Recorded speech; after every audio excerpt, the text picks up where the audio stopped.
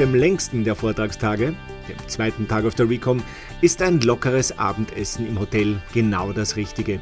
Schauplatz der Abendveranstaltung ist das Hotel Kitzhof. Traditionell wird hier ein Truthahn ganz im Zeichen von Thanksgiving angeschnitten.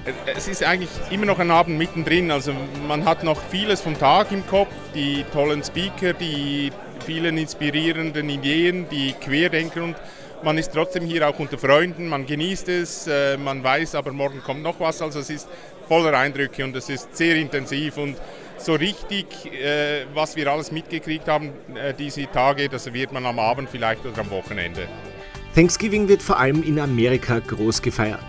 Dieser Trend ist auch in Österreich bereits spürbar. Mittlerweile hat sich diese Tradition auch zu uns durchgeschlagen und es ist schon Tradition bei der RECOM, äh, dass ein Abend mit diesem Thanksgiving-Fest äh, beendet wird und so ist es auch heuer wieder. Und Thanksgiving ist nicht eine amerikanische Erfindung, sondern eine europäische Erfindung. Ich muss zugeben, ich bin Tiroler und Erntedank gibt es viel länger als Amerika. Äh, den amerikanischen Brauch, den blende ich ein bisschen aus. Äh, also Danke sagen gerne, aber geht auch ohne Amerika. Egal ob nun Erntedankfest in Österreich oder Thanksgiving in Amerika, wir wollen wissen, wofür die Gäste der Recom dankbar sind. Ich bin dankbar, dass wir äh, hier diese Veranstaltung haben, dass die veranstaltet wird, dass jetzt das siebte Mal sehr erfolgreich läuft äh, und dass ich dabei sein kann. Also grundsätzlich bin ich mal dankbar für den Moment, hier sein zu dürfen, äh, in einer tollen Umgebung mit tollen Freunden. Also das ist, das ist schon mal das Erste. Und da gibt es so vieles, wo wir noch dankbar sein können. Da könnten wir noch zwei Stunden drüber reden. Den Umstand, dass ich die schönste Frau der Welt geheiratet habe, dass ich fünf gesunde Kinder habe und ein großartiges Unternehmen mit vielen, vielen engagierten Mitarbeiterinnen. Auch der letzte Recom-Abend eignet sich gut, um die zahlreichen Vorträge sickern zu lassen. Die vielen interessanten Speaker beschäftigen auch am Abend die Gäste. Heute hat mich auf alle Fälle der Vormittag am meisten beeindruckt. Und zwar aus dem Grund, weil drei wirklich spannende, eigentlich sehr, sehr unterschiedliche äh, Vorträge waren, aber jeder hat ähm, Punkte gebracht, über die man wirklich nachdenken sollte oder nachdenken muss.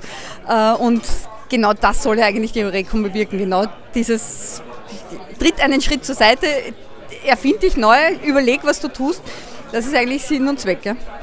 Also besonders hat mir gefallen, ganz in der Früh die Profilerin, die habe ich wirklich unheimlich spannend gefunden, aber es waren auch alle anderen Vorträge, Gapmind und also, also wirklich wieder eine äh, Bewusstseinserweiterung und wie man so schön sagt immer, das ist eine Veranstaltung, wo man ein bisschen wieder über den Tellerrand schauen kann und das ist wirklich hundertprozentig gelungen. Mit den Bitcoins und mit den Blockchains, das sind sicher dem, wo ich mich mal hinsetze, wie es auch vorgeschlagen wurde, Tag, um mich damit äh, intensiver auseinandersetzen, weil ich glaube, das sind Dinge, die werden kommen. Der erste Vortrag heute in der Früh, die Profilerin war Weltklasse. Ich glaube, dort sind 200 Eltern gesessen, die das erste, was sie gemacht haben, ist sich überlegt, in welche Kategorie ihre Kinder passen und ob sie das richtig machen bisher. Und auch diese Veranstaltung endet mit dem einen oder anderen Schnapsal.